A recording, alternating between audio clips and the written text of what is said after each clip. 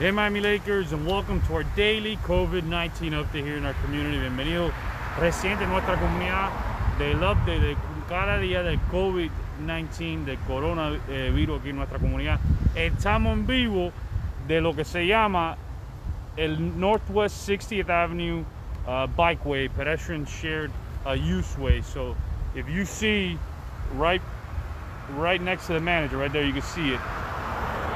That is a new uh, bikeway in an area of our town that didn't have any sidewalks. Uh, it, it, this whole area is an industrial area. A lot of folks get dropped off at the bus stop. They had to walk either in the grass or in the street to get to work. So as you can see, we uh, we finalized it, which is amazing. You can ride bike on one side, you can run on the other. It came out really, really, really nice. Eh, estamos aquí en noroeste, eh, la, la, avenida 60, ¿verdad? 60. 60 aquí en nuestra comunidad. Hacimos una vía nueva donde no habían eh, aceras en, nuestra, en, en, la área aquí. Aquí trabajan miles de personas en esta área industrial de nuestra comunidad. Este es un proyecto que terminamos. Ya tú ves que hay personas montando eh, bicicleta aquí y también tú ves que eh, eh, donde las personas paran en la, en estación de guagua pueden ahora caminar por, esta, por esta vía todos los días. Eso es algo muy bueno. Pero para darle nuestro update de cada día, aquí está nuestro administrador. Hey Miami Lakers, uh, just wanted to start off and first of all, I hope everybody had a great weekend. Mothers had a special day yesterday. Unfortunately, it was a soggy day, but hopefully everybody was able to spend the day with the uh, with their family and their mothers. So I just wanted to get started by saying that uh, we have had no new cases over the weekend. So today is day number four of no change in our number. We still have 45 confirmed cases. We've only had two cases in the last two and a half weeks. So we're going on 17 days with only two cases. No new cases in the last four days. We're at number, our number is 45 cases. Uh, le quiero avisar que ojalá todo el mundo pudo pasar un día de lo más bueno ayer con su madre y su familia. Desafortunadamente llovió, pero eh, por lo menos se pudieron, pudieron pasar un día lindo con su familia. Eh, le quería avisar que tenemos 45 casos confirmados que el número ese no ha cambiado en cuatro días. So something really, really, really important as we begin uh, reopening our economy. I know it's geared towards next Monday, so a week from now. The rules will be getting released, those guidelines, uh, tomorrow or Wednesday. That's uh, per the county mayor. We had a, I was able to talk to him last week. So once we get those rules, we'll be sharing it with our community, our business owners. We're gonna have several days uh, to ensure that we do an educational campaign, that everybody uh, complies uh, with those rules. Eh, parece que para miércoles, para jueves, para miércoles, eh, el martes, mañana o miércoles vamos a estar recibiendo las regulaciones nuevas para reabrir la economía aquí en nuestra comunidad el lunes que viene, que es bien importante y vamos a empezar una campaña de educación para estar seguro que todos los negociantes aquí en nuestra comunidad lo entienden que tienen que hacer para reabrir en una manera eh, que no suben los casos de coronavirus. But something really, really exciting happening in our community this Thursday, and it's part of our reopening phase, and it's very, very important. It's, it's, about testing.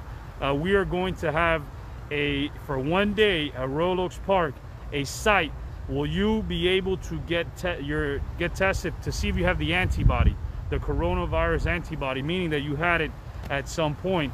Uh, so este jueves en el parque Royal Oaks Park eh, vamos a tener el, el examen de la, para ver si las personas tienen la inmunidad al coronavirus, que es bien importante porque ahí podemos saber también eh, las personas que ya lo tuvieron hace tiempo y puede ser que nunca se dieron cuenta, pero en ese momento tienen lo que se llama la inmunidad y ahí se puede saber. So that antibody test is very, very important. So this Thursday, uh, that that it's going to be happening at Royal Oaks Park. We'll be releasing that information uh, once we, we already have it, but we're, we will be releasing it. Uh, what time more or less? It's going to be most of the day, but it's going to be the uh, the actual flyer should be on our website at some point today. It may well uh, already be up there, but uh, I'll check and make sure that before the end of today that flyer's on there so everybody has the details on what time it starts and what time it finishes. So it's important that you all go out there. I know it's part of uh, the folks are going to be donating blood, but at the same time they're going to be conducting the antibody test, which is very, very important as we continue uh, towards those steps to reopen uh, the uh, our economy here in the town of Miami Lakes. So let me start getting some of those questions, Miami Lakers, that you all might have.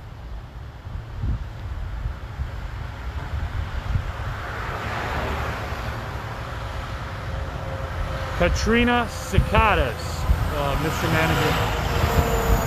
Give me a second there. Katrina Secada wants to know, are we still under curfew? No, the uh, curfew expired a very, very long time ago, several weeks ago, and uh, there's no plans for us to go back under curfew. Eh, la señora Secada quiere saber si todavía, si hay un toque de queda aquí en la ciudad de Miami Lakes. No, el toque de queda se expiró hace más de dos semanas y no hay planes ninguno de volver a, instituir otro toque de queda. Eh, Mr. Manager, Alejandro Sanchez wants to know if a person has the antibody, does it mean that they cannot contract COVID-19? Yeah, the medical professionals are completely, you know, it's a like uh, the mayor's always called this. It's a it's a novel coronavirus, so it's new. So they haven't had enough time to study it. I think the fact that uh, you have in, uh, antibodies will give you some immunity. What they don't know on yet is is, is that immunity going to last for a week, a month, a year, two years? So those are the difficult questions that the medical community is still trying to figure out. So right now they know that it will protect you. They don't know how much it will protect you or how long. So those are the things, but it's a good sign. I think that's what they're striving for is to develop some level of what they call herd immunity, where a lot of people or a certain number of people in our community have uh, been exposed to the virus and have developed these antibodies, and that's a uh, very good thing in, until we were able to get a uh, vaccine developed. So, el señor Sánchez quiere saber si una persona ya tiene la inmunidad, que ya tuvo el coronavirus, ¿eso tiene que ver que, que no lo pueden coger otra vez, lo pueden coger el coronavirus otra vez o qué, qué pasa? Bueno, este virus es un virus nuevo. So, están todavía estudiando eh, cómo el virus este eh, se desarrolla. Y lo que sí saben es que si uno tiene los anticuerpos, eh, que te va a dar un poquito de un, un nivel de protección, pero lo que no saben todavía es si esa protección va a durar un día, una semana, un mes, un año, dos años, por toda la vida. No saben todavía el nivel de la protección esos anticuerpos. Lo que están tra- tratando de ver, a ver si mucha gente, si hay un porcentaje grande de personas que tienen el- los anticuerpos debido a estar expuestos al virus, es bueno hasta que po- podamos eh, finalizar y tener una vacuna. So Katrina has a question. Local restaurants, barbers, salons, do we know when they can open? Yeah, what I can tell you is that uh, the majority of businesses in Miami Lakes will be. Sorry, folks, it's busy out here on 60th Avenue. The majority of businesses in Miami Lakes, including restaurants, including barbers and salons, will be able to reopen with restrictions on May the 18th. That's what we know so far. The specifics of what those restrictions are, are they going to limit how many people can go inside? Uh, all of those uh, details are what the mayor was saying we'll, we're going to have within the next day or two. And once we do, we'll be able to put that uh, information out so everybody is aware. And really, the businesses uh, can have the, the lead time to get ready for that reopening on uh, the 18th. La señora Secada quiere saber los restaurantes, las barberías, los salones de belleza, ¿cuándo se van a reabrir? Sí, todo lo que hemos eh, nos han informado del condado es que esos tipos de negocios, la mayoría de los negocios, la mayoría de los negocios en Miami Lakes van a poder abrir el día de 18 de mayo, incluyendo los restaurantes, eh, la barbería, los salones de belleza, lo que también eh, entre mañana y pasado nos van a dar los detalles de cómo va a ser esa reapertura, las restricciones que van a tener y en cuanto nosotros lo tengamos, se lo vamos a, a distribuir a los ne- negociantes para que ellos tengan la oportunidad de preparar sus negocios y sus empleados para eh, estar listos para el día 18 poder eh, volver a abrir las puertas. Vivian Tamayo Toth uh, wants to know Does this cost anything? And I believe it's in regards to the antibody testing that will happen at Royal Oaks Park this Thursday. No, the uh, the uh, the drive, and actually it will also be coupled with a blood drive, uh, and that will be on Thursday, and it's free to anybody who wants to uh, participate. Eh, la señora Toth quiere saber si lo cuesta algo para hacer el, el examen de la inmunidad del coronavirus. Sí, el examen que se va a hacer el jueves en el parque de Royal Oaks va a ser la prueba de anticuerpos y también va, va a ser también una, va a haber donaciones de sangre. Eso todo es eh, sin costo ninguno al participante, a la persona que, que vaya a donar o y a probarse la sangre para los anticuerpos. So Mama, Mama Nance, the chairwoman Rogers, uh, wants to know antibody testing for Miami Lakes residents only, or is it open to the entire community? It's open to anybody, Nancy. It's uh, there's not they're not going to be checking IDs, and it's uh, not going to be restricted to Miami Lakes residents. So anybody who's uh, who's uh, hearing this message and gets the information will be able to participate.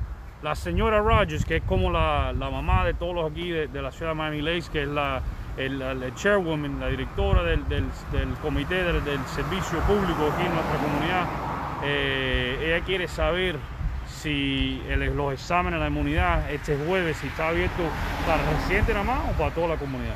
No, va a ser eh, di disponible para cualquier persona, no tiene que ser residente de Miami Lakes. Lydia Fernandez wants to know, I missed the count. What are the numbers for the town? The numbers are 45. It's the same number we've had for four days, so we have been the unchanged for the entire weekend. We had today's the fourth day with the same number. We've only had two cases in the last two and a half weeks. The last 17 days, only two cases, and that's uh, continuing the same average that we've seen recently of only about one a week, which is great news. It used to be one to two a day. We had a stretch there in the at the height of the curve, so this is great, great news. Michelle Pollo wants to know, do we have to live in Miami Lakes to be tested at Royal Oaks no, for antibodies? I'm sorry. No, uh, we just, uh, we went over that a minute ago. We, you do not have to be uh, a resident of Miami Lakes. Uh, they're not going to be checking IDs. Uh, Rudy Castaneda wants to know, when, when can we go out in public but not in stores without a mask? Well, this first phase is if, you're going to be inside of any interior space, inner, inside spaces, you're going to, for right now, the restrictions are going to continue uh, with wearing uh, some kind of facial covering. So you're going to hear more about it, and the specifics are going to be released by Miami-Dade County in the next day or two. But right now, it appears that all indications are that you're going to, if you're going to be indoors, you're going to be required, other than in your house, right? Any other in, interior space, you're going to be uh, asked to wear a mask. So Nancy Fernandez Trusdale wants to know, can you just do the antibody test instead of giving blood? Right now, uh, it's going to be coupled together. So they're going to ask for you to donate blood, and they're going to test your blood for the antibodies. And as, I think they're even going to be able to provide you information about your cholesterol and other screenings that they're going to do to you. Uh, so they'll be able to provide you all that information, and all of it is at no cost to you. Yeah, Alejandro Sanchez asked the same question. Do we need to donate blood in order to know if we can, if we have the antibody? Yes. Yes.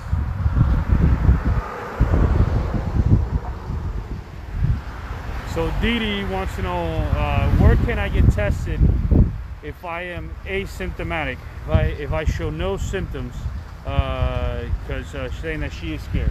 Yeah, the the the closest place that you can do that, you don't even need an appointment, uh, is the Dolphin Stadium where the Dolphins play football there, the old Joe Robbie Stadium. Uh, that football stadium, I know you don't have to have symptoms and you do not need an appointment. Hey, Didi wants to know what time. I know it was the majority of the day, correct? For the uh, for the The, blood? antibody Yep, testing? Yeah, it's, the flyer is going to be posted at some point today. So sometime tonight, check back on our uh, social media pages, and you'll be able to see the flyer there. That'll have all of the information, but it'll be most of the day. So I know this is one of the questions. So, and Nancy's asking this question. So if somebody has, if somebody goes on Thursday, uh, donate blood, and, and they have the antibody, they'll have the choice also to donate plasma later on. So hopefully, I know this is part of one of the things. It may help uh, in in uh, in healing coronavirus. I know I've read many articles, many studies on this, but I know they'll have that opportunity to Yes. donate plasma if you have, if it's shown that you do have the antibody, which is very important. Donating that plasma can save lives. I know there's a lot of ongoing studies. I know there's a lot of folks that have gotten better because of it. So it's very important that, that if you do have the, the antibody, that you know you consider uh, giving uh, uh, plasma. Correct? Yes, yeah, the, that's one of the proven uh, treatments to help uh, make the impact of coronavirus less uh, less impactful. Azucena eh, Lopez, the new shared use path is on 60th Avenue. This is the largest industrial area in our community, uh, which never had any sidewalks in it. But yeah, as you can see, it's a beautiful shared use path. We, we've already had several folks ride bike right by us, but it gives you that opportunity. So if you're jogging, if you're walking, uh, you could be on one side. If folks are riding bike, you can be on the other. So it's on Northwest 60th Avenue, and it's really, really nice because it'll end up connecting to the uh, the Safe Routes to School project. So you're gonna have a very, very nice and long uh, bike path here in our community, shared youth youth path, which which is very, very important. Yes.